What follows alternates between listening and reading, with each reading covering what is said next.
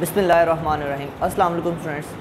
Tenth class की chemistry का हम लोग चैप्टर नंबर टू पढ़ रहे हैं। लास्ट लेक्चर के अंदर मैंने आप लोगों को बेसिस जो है, उनकी केमिकल प्रॉपर्टीज़ को डिस्कस किया था। तो आज हम लोग जो हैं, वो बेसिस की जो यूजेस हैं, उनको डिस्कस करेंगे। तो चलते हैं अपने टॉपिक की तरफ़। सबसे पहले, चंद बेसिस आप लोगों को दी गई हैं। आगे उनके यूजेस लिखे हुए हैं। सबसे पहले जो बेस है sodium hydroxide sodium hydroxide is use to manufacture soap sodium hydroxide जो है वो साबुन बनाने के लिए इस्तेमाल की जाती है। Calcium hydroxide. Calcium hydroxide is use to manufacture bleaching powder इसे ब्लीचिंग पाउडर बनाने के लिए इस्तेमाल किया जाता है।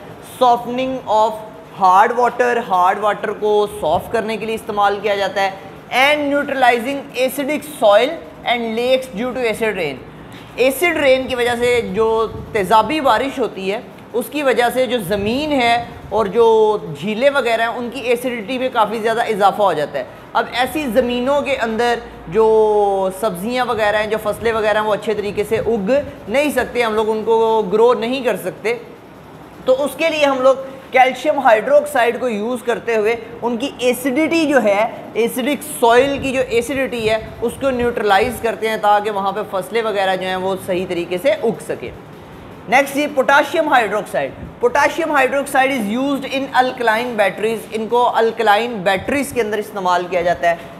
Next magnesium hydroxide is use as base to neutralize acidity in stomach बाज़ात हमारे मैदे के अंदर तेज़ाबियत हो जाती है, जिससे हमें मैदे के अंदर बहुत ज़्यादा जलन महसूस होती है। तो उसके लिए हम लोग मैग्नीशियम हाइड्रोक्साइड को अगर यूज़ करें तो हम लोग अपनी जो मैदे की जो तेज़ाबियत है, उसको ख़त्म कर सकते हैं, क्योंकि ये मैदे की तेज़ाबियत को न्यूट्रलाइज करती है, न्यूट्रलाइज करके उसको ख़त्म करती है।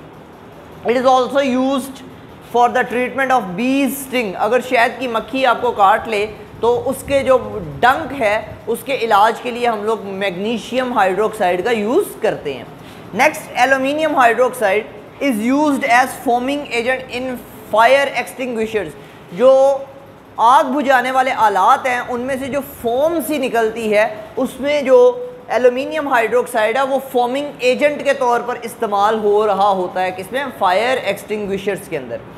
नेक्स्ट लास्ट है हमारे पास ammonium hydroxide. Ammonium hydroxide is use to remove grease stains from clothes अगर आपके कपड़ों के ऊपर ग्रीस के दाग धब्बे लग जाएँ तो उनको रिमूव करने के लिए, उनको ख़त्म करने के लिए हम लोग अमोनियम हाइड्रोक्साइड का यूज़ करते हैं। तो ये थे चंद बेसिस जिनके हम लोगों ने यूजेस पढ़े हैं। आज का लेक्चर यहाँ पे ख़त्म होता है। आज के लिए इतना ही। अल्लाह हाफ़